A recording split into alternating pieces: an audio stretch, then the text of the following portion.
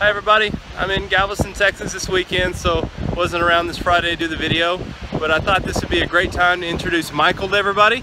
Uh, so Michael, take it away. Hope everybody has a good weekend. We'll see you next Friday. Well, hello everybody. As Jeremy just mentioned, my name is Michael Wellings. I'm the Director of Communications here at Strategic Advisory Services, and it is great to meet you over the camera. Um, it's part of my job here to choose the topics that we cover in these weekly videos, and as I was covering all the news articles this week, the big headlines, one really big thing kind of jumped out at me, and that is uncertainty. Um, obviously, you have highs and lows in every news cycle, but um, it really, the contrast just seemed heightened this week.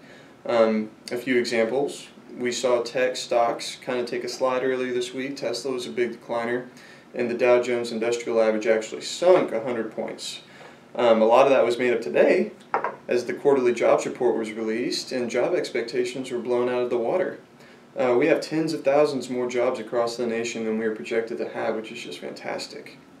Uh, meanwhile, in Germany today, at the G20 summit in Hamburg, there were 100,000 people protesting, a lot of uncertainty there. And back on the home shores, Sears and Roebuck, which has been around since the 1800s, was a perennial retail giant, is closing even more stores more stores. Now we have Amazon instead of Sears that's having the big heyday. Um, a Business Insider article I read earlier said that uh, in 30 hours on Prime Day coming up on July 11th, they are set to make $1 billion. 1 billion. 30 hours. It's pretty crazy. Uncertainty scares quite a lot of people, uh, myself included, for obvious reasons. Um, there's not a lot of people that just thrive in uncertainty. And, uh, you know, if that's you, I would uh, just offer these words of encouragement, and that is control what you can control in your life and find solace and comfort there.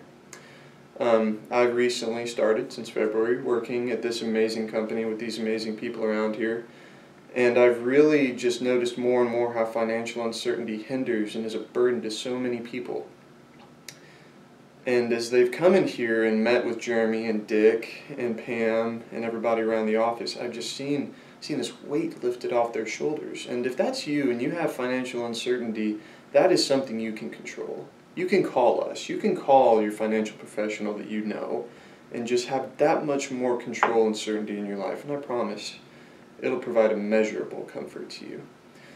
To our clients, um, it is wonderful, again, to be able to introduce myself to you over the camera, and I look forward to meeting with you in the months to come.